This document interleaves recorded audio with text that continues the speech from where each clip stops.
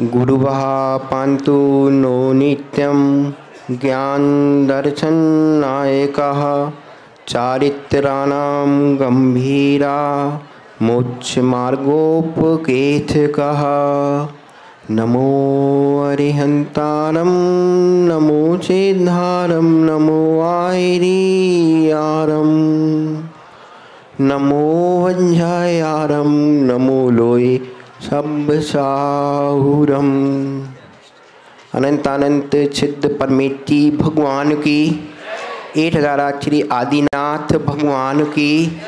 एक हजाराक्षरी पायसनाथ भगवान की। आचार्य गुरु विशुद्ध साजय जी महाराज की।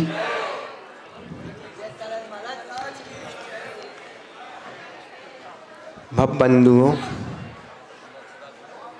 आज हम आचार्य श्री से समक्ष दो शब्द बोलने की आज्ञा मिली है।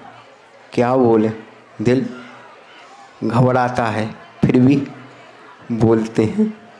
देखो, उनके सामने बोलना है जो ज्ञानी शब्द से संबोधित करते हैं। और हमने अभी ज्ञान में दो चीज़ पढ़ी। ज्ञा और ना अपन शब्दों में जाओ तो बन है। बन्नों से शब्द बनते हैं। शब्द से वाक्य बनते हैं। वाक्य से अर्थ निकलता है। अर्थ से भावनाएँ बनती हैं।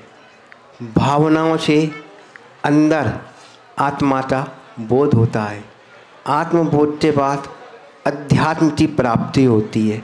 और ऐसे आचार जो अध्यात्म छिरोमणि चलाते हैं, उनके सामने क्या बोल? वो हमें उनने ज्ञान की परिभाषा बताई थी, ज्ञान जैसे है। अब हम उतने ऊपर तक तो पहुँचे नहीं है, ना कभी पहुँच सकते।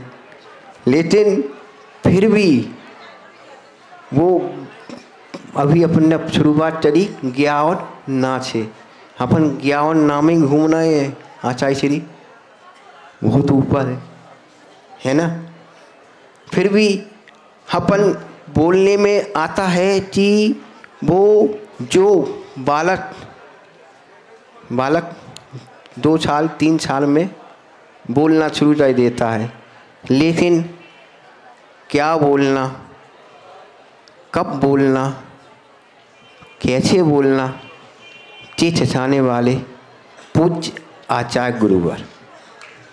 और जो बिना नभे कुछ नहीं प्राप्त होता, नीति पात्रों में सुनना आसान है, लेकिन नबने में भी कहाँ तक नब सकते हैं?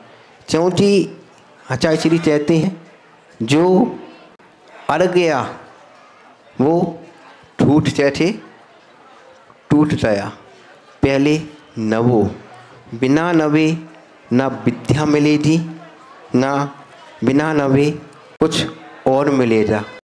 नवने से ज्ञान आता है नवने से ऊपर उठने का रास्ता मिलता है। ऐसे मनमान हमारे पूजनीय आचार्य चुरूबा विशुद्ध छादेरी महाराज की जय। आचार्य भगवान, विशुद्ध